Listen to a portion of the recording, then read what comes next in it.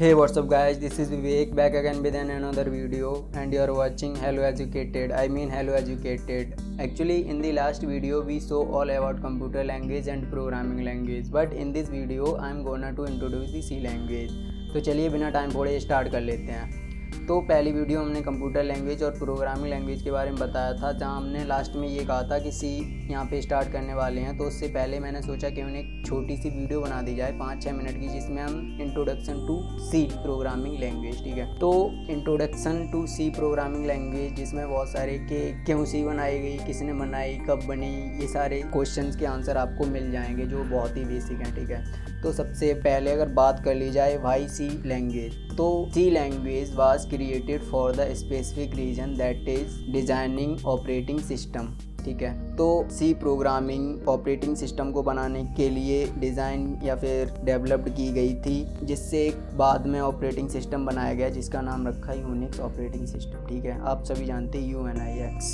अगर हम बात करें कि सी लैंग्वेज कौन सी लैंग्वेज में रिटर्न है तो C language was created from A L G O L B C P L and B तो अगर हम बात करें कि A L G O L A L G O L यानी father of all the programming language, क्योंकि A L G O L सबसे पहले आई थी। इससे पहले कोई भी प्रोग्रामिंग लैंग्वेज नहीं थी। अब A L G O L की फुल फॉर्म की तो बात ही मत कर देना मुझसे, क्योंकि A L G O L जो है वो यूरोपियन लैंग्वेज को ज़्यादा यूज़ करती थी तो उसकी फुल फॉर्म यूरोपियन लैंग्वेज में है, लेकिन हमने यहाँ पे इसको एल्गोरिथमिक लैंग्वेज कहा है। तो ए एल जी ओ एल हमने देख ली, father of all programming language, क्योंकि सबसे पहले आई थी, बट ये ये 1960 में आई थी, ठीक है? यानी 1916 से पहले कोई लैंग्वेज नहीं आई। अब after that in 1967 a new programming language was developed was BCPL BCPL means basic combined programming language तो BCPL was designed and developed by Martin Richard और इसका जो रीजन था बनाने का BCPL लिखने का जो रीजन था, वो था एक सॉफ्टवेयर बनाना था या फिर सिस्टम सॉफ्टवेयर बनाना था। बस बेसिक रीजन था, ठीक है? यानी ए एल के बाद हमारी लैंग्वेज आई एल आफ्टर सेवन ईयर ठीक है। अब just after three years in 1970 are new programming language called B was introduced by K Thompson that is combined complete feature of BCPL यानी जो बी लैंग्वेज थी, वो उसमें और भी फीचर थे और बी सी पी एल के सारे फीचर थे। यानी बी सी पी एल में कई और फीचर्स जोड़ के लैंग्वेज बनी हमारी बी तो यहाँ पे हमने देख लिया कि सी लैंग्वेज जो है वो A L G L B C P L B से मिल के बनी है। और ए एल जी एल क्या है? ये यूरोपियन लैंग्वेज ज़्यादा फॉलो करती थी तो इसकी फुल फॉर्म भी उसी में है, लेकिन इसको एल्गोरिथमिक लैंग्वेज कहा है। और उसके बाद बी सी पी एल आया है B C P L combined programming language and B ठीक है? अब इसके बाद हम बात करें कि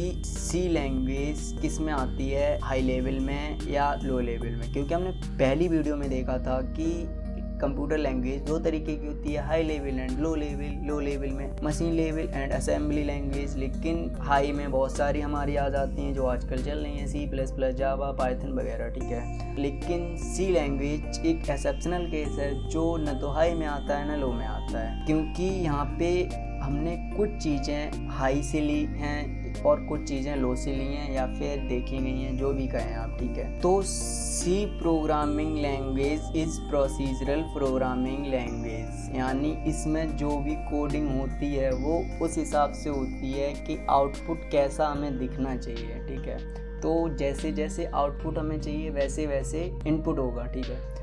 C programming language developed at A T and T Bell laboratory of U S in nineteen seventy two by Dennis Ritchie is the father of C programming language and B is the mother of C programming language तो इस video में बस इतना ही है। अगर हम highlight करें तो कुछ चीज़ों को करना है। वो है कि वी सी पी एल की फुल फॉर्म क्या है या फिर बी लैंग्वेज किससे बनी है? और बस दो चीज़ें याद करनी है कि B is the mother of C language and Dennis Ritchie is the father of C language, ठीक है? बस दो चीज़ें हैं और तीसरी अगर ये देखें कि किससे मिलके बनी है तो बी सी पी एल या ए एल जी ओ एल भूल भी जाएँ, लेकिन बी को हमेशा याद रखना है, ठीक है? बस इस वीडियो में इतना ही है। आगे हम स्टार्ट करेंगे स्ट्रक्चर ऑफ़ सी लैंग्वेज और वहाँ से हमारी सी लैंग्वेज स्टार्ट हो जाएगी। इस वीडियो में इतना ही है। वीडियो अगर अच्छी लगी हो तो लाइक बटन दबाइए और दोस्तों को शेयर कर दीजिए जिसे ये नॉलेज नहीं है। ठीक है? उनकी हेल्प कीजिए और बस भाई अच्छा लगे तो चैनल को सब्सक्राइब कर लीजिए। तो मिलते हैं अगली वीडियो में। तब तक के लिए हैव अ गुड टाइम